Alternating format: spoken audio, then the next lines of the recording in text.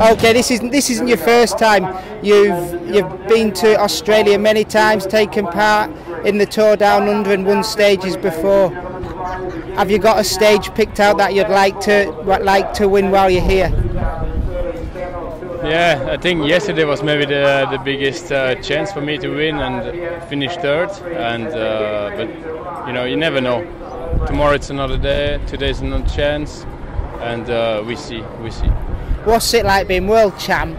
Over the winter, you must have had to go to dinners and presentations. Does it detract from your training at all?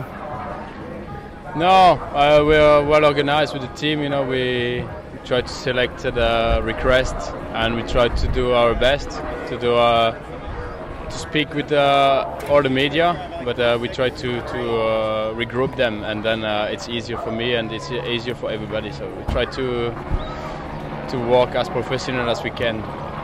And being in Australia in the World Champs jersey, what's the response like from the general public? I think people here are know a little bit about cycling, so they know what what mean world champion, what mean uh, being winner of the tour. Like we see uh, with Schleck, I think they know a little bit of cycling, so it's, it's already good.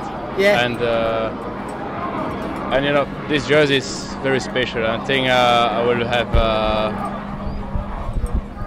this uh, the, the same uh, same thing everywhere I go. Yeah. There's some there's some mad fans out there.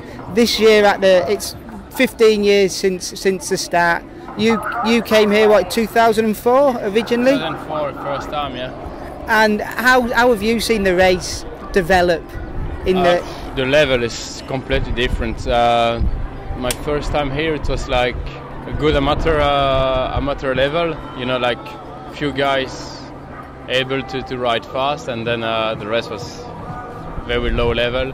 But now it's uh, it's big difference. It's world tour. It's the best teams, the best riders of the of the world.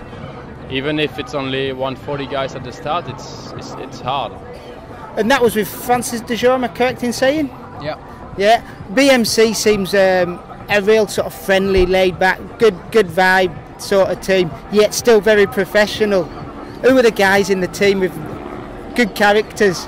Oh, a lot of guys. Uh, a lot of guys. I think it's BMC. It's uh, always friendly.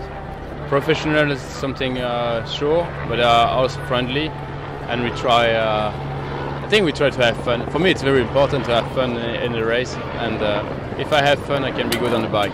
It's a love of the sport. Yeah. Excellent. Thank you ever so much. Welcome. Thank you. Bye.